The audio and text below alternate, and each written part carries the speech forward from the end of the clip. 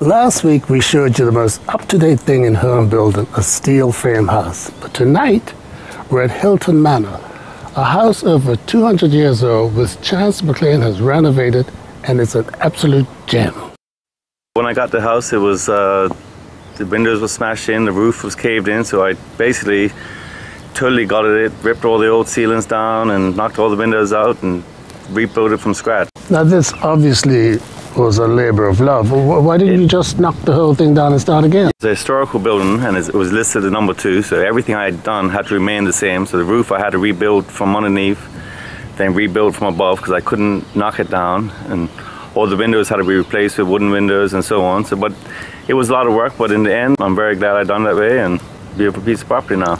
So did you, with your windows, did you use mahogany or cedar? It's mahogany windows actually, and it's um, the same style as the old one with the sash weights. Hopefully they will last 60, 70 years like the old one's done. Well, what about, I mean, you must have found a lot of scraps of old wood and even termites, I'm sure. Yes, it was. Actually, there was termites everywhere, so I actually had to get the whole the whole house tented.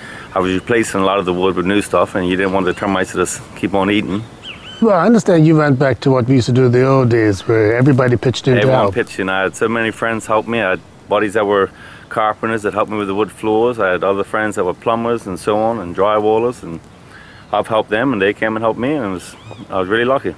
So what is it about Hilton Manor that made you want to go through this major renovation?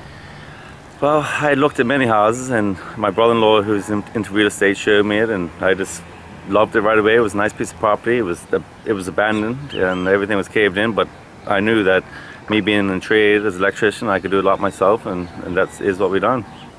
What sort of acreage are we standing on? It's just under half an acre, which in Bermuda standards is, is a nice sized lot. So your, from your point of view, this was going for another few hundred years? Exactly, yes. I say Hilton Manor. Who, who was Hilton?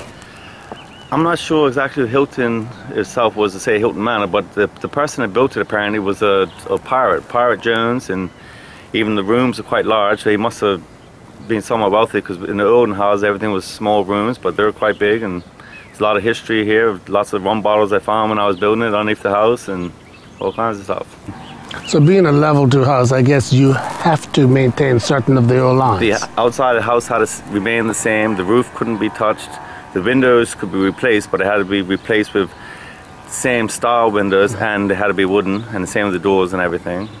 Cost-wise, this must have been phenomenal. It, it was actually, but buying that kind of stuff, the wooden windows is quite expensive, but you know, was, I was, like I said, I was lucky. I had so many friends help me with the labor part of it, and that's in construction, that's the most expensive is labor, so.